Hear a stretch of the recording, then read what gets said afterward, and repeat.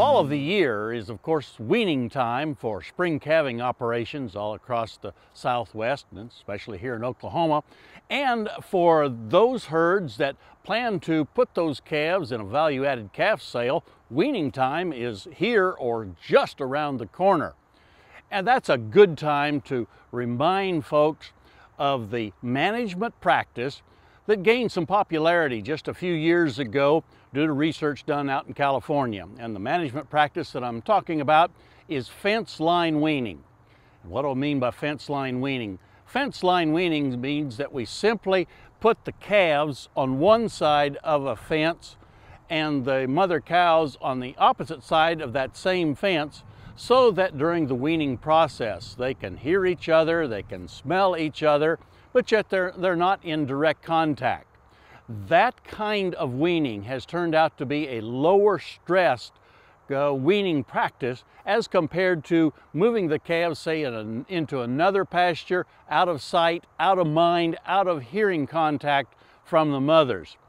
When the University of California uh, folks actually compared those two weaning management practices, they found that the calves that had the fence line weaning, those that uh, stayed within earshot and could smell the, the mother, those calves actually got off to a better start.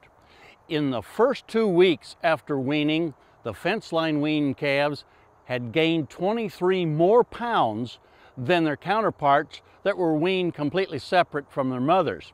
And that advantage actually was maintained through 10 weeks. Those calves still weighed, uh, weighed about 26 pounds more than their counterparts that were completely separated from the mothers.